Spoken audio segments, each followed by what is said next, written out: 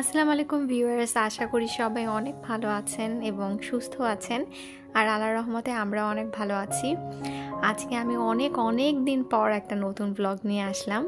আসলে এই বছরে মানে দুই হাজার একুশে আমার এখন পর্যন্ত কোনো ব্লগ দেওয়া হয়নি, আর এটাই আমার প্রথম ব্লগ তো আসলে ব্লগ না দেওয়ার সেরকম কোনো বিশেষ যে কারণ আছে তাও না, এমনিতেই ভালো লাগছিল না এই জন্যই দেওয়া হয়নি।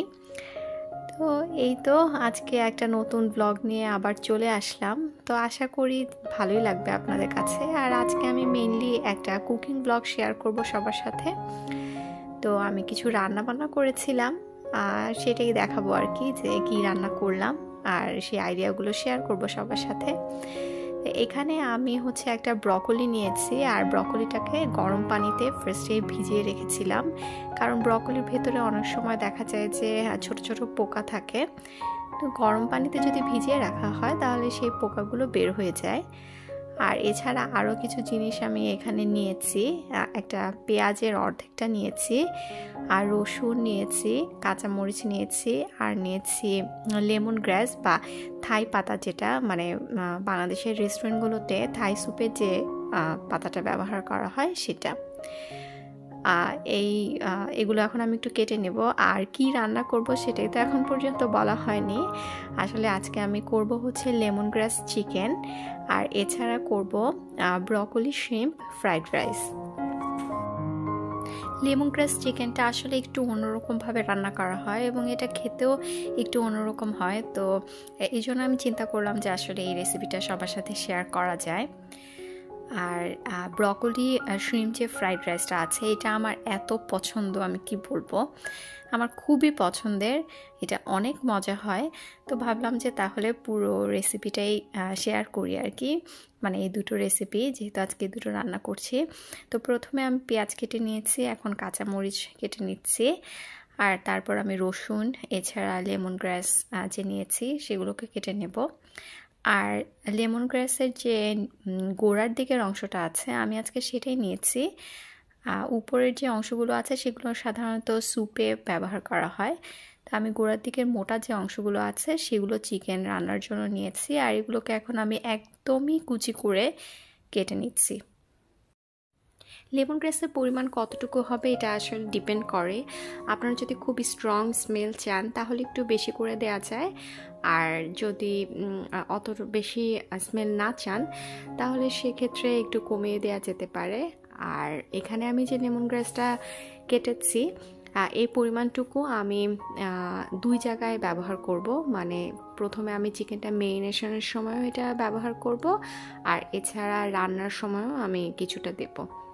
তো সেরকম বুঝে আমি কেটে নিয়েছি আর কাটাকাটির পার্টটা আমি একসাথেই সেরে নিচ্ছি।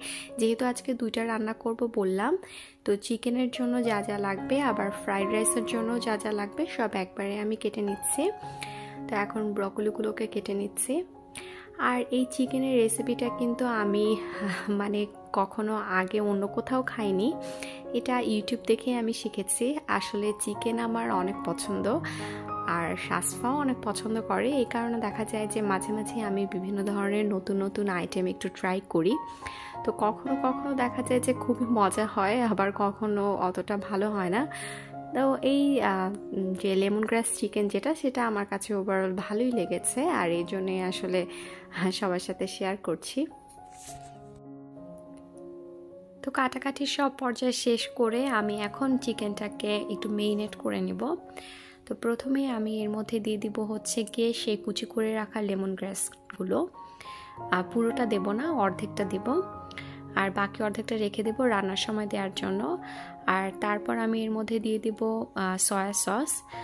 এছাড়া চিনি দেব। তারপর স্বাদ মতো লবণ দেব। আদা রসুনের পেস্ট দিব। আর দেব হচ্ছে খুবই সামান্য পরিমাণে কর্নফ্লাওয়ার। দিয়ে আমি খুব ভালো করে মাখিয়ে এটাকে রেখে দেব এক ঘণ্টার জন্য। এই চিকেনটা রান্না করতে কিন্তু খুবই কম উপকরণ লাগে আর খেতে বেশ মজা হয়। আর আমার মতো যারা চিকেন খেতে পছন্দ করেন এবং বিভিন্ন নতুন নতুন রেসিপি ট্রাই করতে পছন্দ করেন, তাদেরকে আমি বলব এই রেসিপিটা আসলে ট্রাই করে দেখতে পারেন। তো চিকেন মেরিনেট করা হয়ে গেলে আমি এখন এটাকে রান্না করে নেব। তো সেই জন্য আমি প্যানে খুবই সামান্য পরিমাণে তেল দিয়ে দিয়েছিলাম। তারপর এর মধ্যে দিয়ে দিয়েছি রসুন কুচি। এছাড়া সেই বাকি যে লেমন গ্রাসগুলো ছিল সেটা দিয়ে দিয়েছি। এছাড়া পেঁয়াজ কুচি দিয়েছি আর কাঁচামরিচ কুচি দিয়েছি। আর স্বাদ মতো লবণ দিয়ে আমি এখন এগুলোকে একটু ভেজে নেব। একটু কিছুক্ষণ নাড়াচাড়া করে তারপর আমি এর মধ্যে সেই ম্যারিনেট করে রাখা চিকেনগুলো দিয়ে এখন ভালো করে মিক্সড করে নিচ্ছি। চিকেনগুলো দিয়ে আমি দুই তিন মিনিটের মতো একটু মশলার সাথে ভালো করে মিশিয়ে নেব আর তারপর আমি এর মধ্যে পানি দিয়ে দিব। তো আজকে আমি চিকেন ব্রেস্ট পিস নিয়েছি কোনো হাড় নেই আর কি। আর এই রান্নাটা করতে হাড় ছাড়া মাংসই নিতে হবে। আর যেহেতু চিকেন ব্রেস্ট পিস রান্না হতে খুবই কম সময় লাগে তো এই কারণে প্রথমে আমি তো ভেজে নিলাম কিছুক্ষণ, আর এখন পানিও দিয়ে দিলাম। তো এই অল্প পানিতেই চিকেনটা খুব সুন্দরভাবে খুব অল্প সময়ে কুক হয়ে যাবে।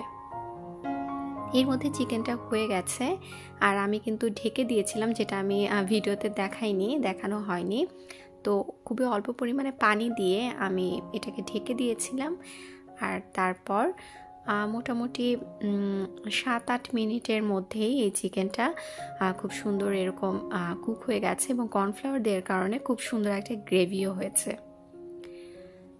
এই তো আমার চিকেন ডান, আমি এখন এটাকে নামিয়ে ফেলব আর এখন আমার নেক্সট যে রেসিপিটা আছে সেটা আপনাদের সাথে শেয়ার করব। চিকেন তো রান্না হয়ে গেল আর এখন হচ্ছে ফ্রাইড রাইসের পালা। তো এই ফ্রাইড রাইসটার আমি নাম দিয়েছি ব্রকলি সুইম ফ্রাইড রাইস আমার এত পছন্দের মানে কি বলব, আমার খুবই ফেভারিট একটা ফ্রাইড রাইসের রেসিপি এটা, যার কারণে এটা সবার সাথে শেয়ার করছি। তো প্রথমেই আমি একটা প্যানে তেল নিয়ে নিয়েছি, আর তারপরে এর মধ্যে রসুন কুচি করে দিয়ে দিয়েছি, আর এরপর আমি দিয়ে দিয়েছি চিংড়ি মাছ। চিংড়ি মাছগুলোকে আমি একটু ছোট করে টুকরো করে নিয়েছি, কারণ এটা মাঝারি সাইজের চিংড়ি ছিল। তো এই কারণে আমি একটু ছোট টুকরো করে নিয়েছি। যদি ছোট চিংড়ি হয় তাহলে সেক্ষেত্রে আস্ত চিংড়িও দেওয়া যেতে পারে। তারপর আমি চিংড়ি আর রসুনটাকে খুব ভালো করে ভেজে নিচ্ছি।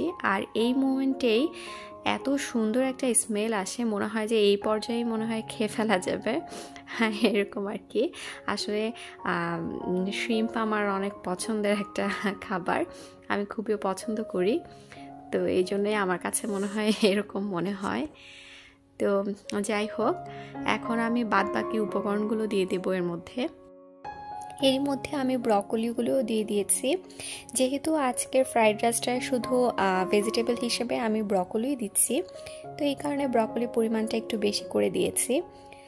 আর এখানে চাইলে হয়তো বা অন্য সবজিও অ্যাড করা যেতে পারে, যেমন গাজর বা ক্যাপসিকাম বা অন্যান্য যে ভেজিটেবলগুলো ফ্রাইড রাইসে দেওয়া হয়। কিন্তু আমার কাছে পার্সোনালি মনে হয় যে শ্রিম্প ব্রকলি এই দুইটার কম্বিনেশনে যে সুন্দর একটা ফ্লেভার আসে, সেটা অন্য কোনো সবজি দিলে আসে না। ওইটার টেস্টটা নর্মাল রেগুলার যে ফ্রাইড রাইস আছে, সেটার মতোই হয়ে যায়। তো এই ক্ষেত্রে মানে এই জন্য আমি যেটা করি যখন আমি ব্রকলি শ্রিম ফ্রাইড রাইস করি, তখন অন্য কোনো সবজি আমি দেই না। আমি চাই ব্রকলির যে মজাটা আর কি সেটা যাতে পুরোপুরি পাওয়া যায়।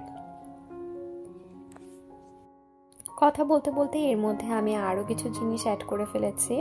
আমি পরিমাণ মতো লবণ দিয়েছি, এছাড়া গোলমরিচের গুঁড়ো দিয়েছি আর দিয়েছি সয়া সস আর এখন আমি এর মধ্যে দিয়ে দেব ডিম। তো আমি চারটা ডিম দিয়ে দিয়েছি, আর ডিমের মধ্যে দিয়ে দিচ্ছি খুবই সামান্য পরিমাণের লবণ আর গোলমরিচের গুঁড়ো। আর এখন আমি ডিমটাকে ভেঙে এই ব্রকলি আর চিংড়ি মাছের সাথে মিক্সড করে নেব।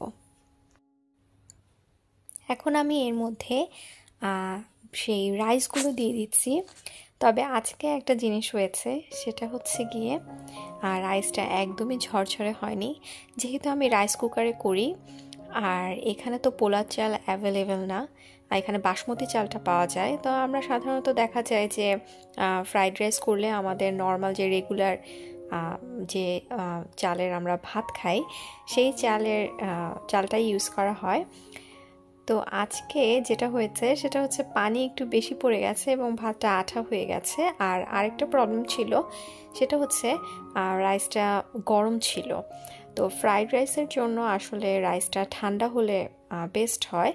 আর এছাড়া নর্মালি যদি পানিতে এটাকে মোটামুটি সিদ্ধ করে তারপর পানিটা ঝরিয়ে ঠান্ডা করে নেওয়া হয়, সেক্ষেত্রে রাইসটা অনেক ঝরঝরে হয়। তো যেহেতু আমরা, আমি মানে আমাদের নিজেদের জন্যই করছিলাম আবার পানিও একটু বেশি পড়ে গেছে। তো সেই কারণে একটু আঠালো হয়ে গেছে। রাইসটা যার কারণে আসলে দেখতে অতটা ভালো লাগছে না। তবে আপনারা যখন করবেন, তখন ফ্রাইড রাইসের জন্য আপনারা রাইসটা যেভাবে প্রিপারেশন করে থাকেন, সেভাবে করবেন। তাহলে খুবই ঝরঝরে হবে এবং খেতে অনেক ভালো হবে। তো রাইসটা দেওয়ার পর আমি এর মধ্যে রাইসের জন্য যে প্রয়োজনীয় লবণ সেটা দিয়ে দিলাম। এছাড়া সয়া সস দিয়েছি টমেটো সস দিয়েছি এছাড়া গোলমরিচের গুঁড়া দিচ্ছি আর দিয়ে দিব স্বাদ মতো চিনি। একটু চিনি দিলে যেটা হয় ফ্রাইড রাইসের টেস্টটা খুব ভালো আসে। যারা ট্রাই করেছেন, তারা হয়তো জানেন, আর যারা কখনো এভাবে চিনি দিয়ে করেনি তারা করে দেখতে পারেন। আর এরপরে আমি সব শেষে দিয়ে দিচ্ছি কাঁচামরিচ ফালি করে রাখা। আর দিচ্ছি কুচি করে রাখা পেঁয়াজ। তো পেঁয়াজটা শেষে দিলে যেটা হয়, এটা একটু ক্রাঞ্চি থাকে, খেতে ভালো লাগে। আমি যদি প্রথমে রসুনের সাথে দিয়ে দিতাম, তাহলে পেঁয়াজটা নরম হয়ে যেত। আর সেক্ষেত্রে আসলে খেতে অতটা ভালো লাগে না, এই কারণে পেঁয়াজটা আমি শেষে দিলাম। তো এখন এগুলোকে আমি হাই হিটে খুব ভালো করে মিক্সড করে নেব। হ্যাঁ যদিও দেখতে পাচ্ছেন, আমার রাইসটা আজকে খুব আঠালো হয়ে গেছে দেখে। খুব একটা ভালোভাবে আমি মিক্স করতে পারছি না। তা আপনাদেরকে তো বলেই দিলাম টিপসটা। আশা করি আপনারা ওইভাবে করবেন এবং খুব ভালো একটা রেজাল্ট পাবেন ইনশাল্লাহ। তো এই ছিল আমার আজকে দুটো রেসিপি। একটু অন্যরকম, কিন্তু খেতে অনেক মজার। আশা করি সবার অনেক ভালো লেগেছে। আর যদি আমার রেসিপি ভালো লেগে থাকে, তাহলে আমার চ্যানেলটি সাবস্ক্রাইব করার অনুরোধ থাকল সবার প্রতি। সবাই ভালো থাকবেন। আর আমাদের জন্য তো অবশ্যই দোয়া করবেন। আর ইচ্ছে আছে এরকম দেরি করে যাতে আর ভ্লগ না দেই রেগুলার যাতে ভ্লগ দিতে পারি সেরকমটাই ইচ্ছা আছে। সবাই দোয়া করবেন আমাদের জন্য। আপনাদের জন্য অনেক দোয়া আর ভালোবাসা থাকল। আল্লাহ হাফেজ।